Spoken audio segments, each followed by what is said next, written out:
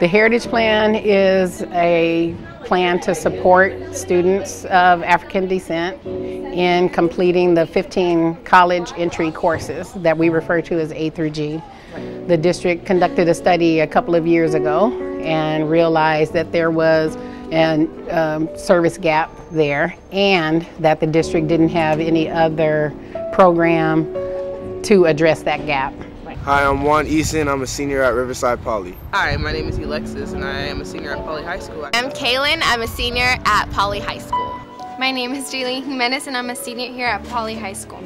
Putting school over other things uh, like social, my social life and uh, actually sports, so it's helped me uh, really, you know, get a feel for what it's going to be like in college, you know, really balancing out uh, sports and academics.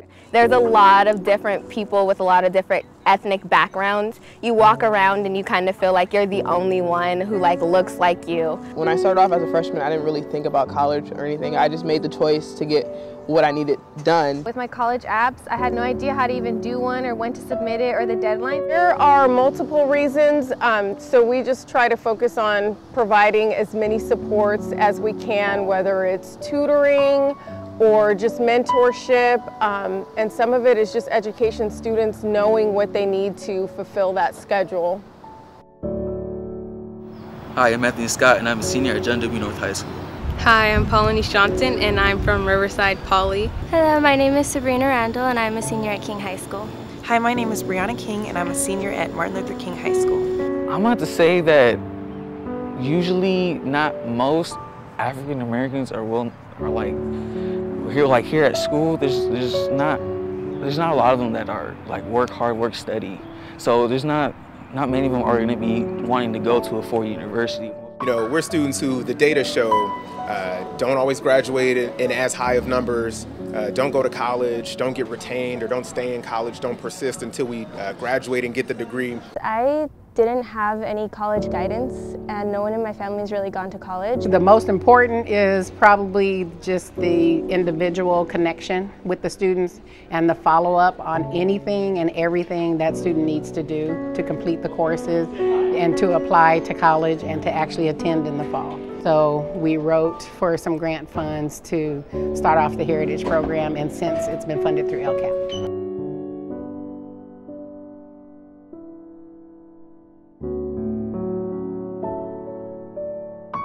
Hi, I'm Orlando Smotherman. I'm a senior at Ramona High School. Hi, I'm Michaela Maddox, and I am a senior at Arlington High School. I'm Laura Maddox, and I am a senior at Arlington High School. Hi, I'm Gannon. I'm a junior at Poly High School. My name is Kiana Lang, and I'm a senior at Riverside Poly. It's like targeting, you know, like um, African Americans and like Hispanics and trying to help them because like they sometimes don't get all the information they need. Like they bring us all together in a room or on a field trip and you see that you're not the only one and there's so many other people who share like similar stories and similar backgrounds. They were like able to really help me and like teach me the steps going through the application and with, and with the financial aid. Looking at the different majors they have and seeing how it's going to fit my personality when I when I leave off next year. It helped a lot when, like when we went on their field trips and stuff that showed us the college fairs and stuff. We looked at the different colleges and the people that ran their booths and stuff helped us with the, you know, how to make decisions on which college you want to go to. So I think opportunities like this, programs like this that work with kids while they're in high school, that maybe go through the, the requirements, that try to pair them up with, with mentors and buddies. I mean, all those things are things that have been shown to work, to be effective, to help kids be able to see themselves in college and immatriculate at greater rates.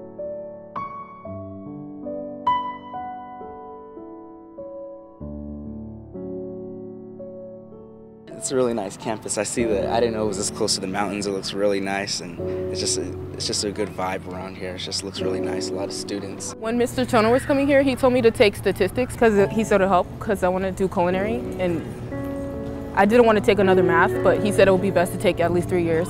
I actually had the opportunity of attending the Summer Academy last year, this past summer, and I learned how to critically think in reading, writing, and math. And I think that's what helped shape my path, um, you know, exposing me to different opportunities. With the college tours, it actually got me interested in college and thinking about what I wanted to do. It brings together unity towards all of us. We're all going towards the same goal, which is to go to college, and that's like basically what it is. It brings us all together. surrounded by your peers who all have the same goals as you is pretty pretty amazing. This program really helps us really helps us, you know, get get to the top life. You know, it's just excel at our edu- excel at education, just do better for ourselves. I kind I kind of didn't want to go, and then when I went to those things, it made me. It's, they showed how much fun it could be while you're learning. So this is extremely important because hopefully this will impact the numbers. This will mean more kids now will be able to not just go to college, but all that that entails. When you graduate from college, you have opportunity, right? You have a greater likelihood of getting a good job, of earning a higher income, of being able to move to a, a nice, safe neighborhood, you know, of being able to lift your family and your community perhaps out of poverty if you're in poverty. You know, there's a earning difference between people who finish high school graduation versus a college degree. And if people stay local, then that is putting money into our local economy. Families do better. Their civic engagement will be higher. And I help at the Youth Opportunity Center with young adults like me that have some trouble and that are my race and I think it's helped me a lot. Like all the disabled students, they all came up to me trying to give me hugs and saying hi to me. And just, I just seen like the smile on their face when I was helping them out.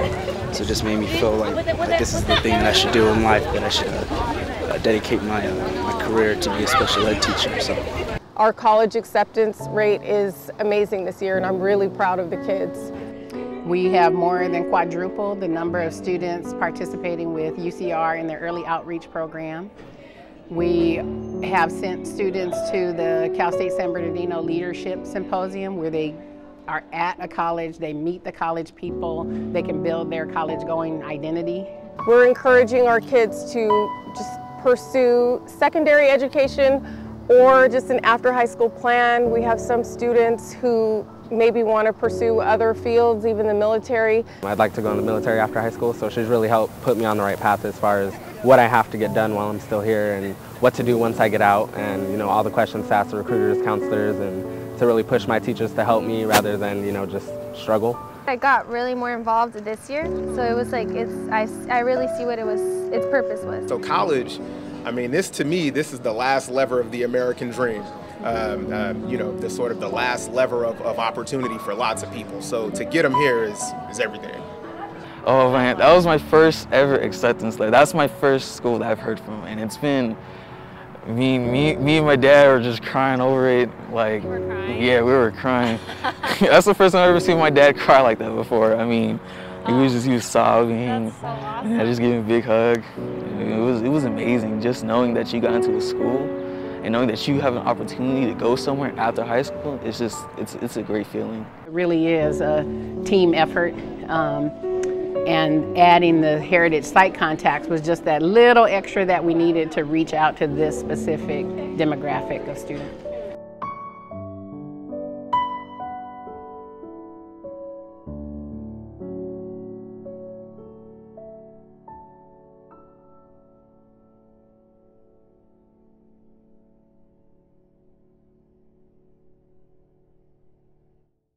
Hi, I'm Juan. I'm going to Cal State LA.